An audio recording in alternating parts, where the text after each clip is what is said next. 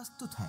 Doctor पुरु दाधीच द्वारा राग मालकोंस और ब्रह्मताल में रचित ध्रुपद।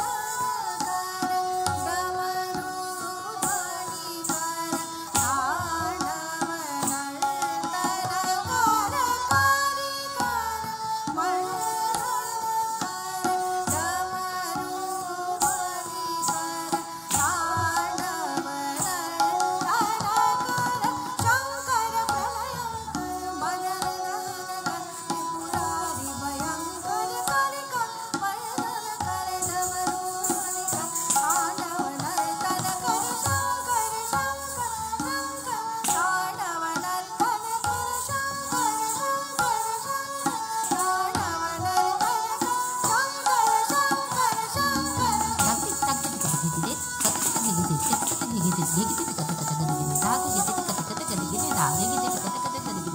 ಸಾಗು ಗಿದಿ ಕಟ ಕಟ ಕಟ ಗಿದಿ ಕಟ ಕಟ ಗಿದಿ ಗಿದಿ ಗಿದಿ ಗಿದಿ ಕಟ ಕಟ ಗಿದಿ ಗಿದಿ ರಾವೆ ಗಿದಿ ಕಟ ಕಟ ಕಟ ಗಿದಿ ಸಾಗೆ ಗಿದಿ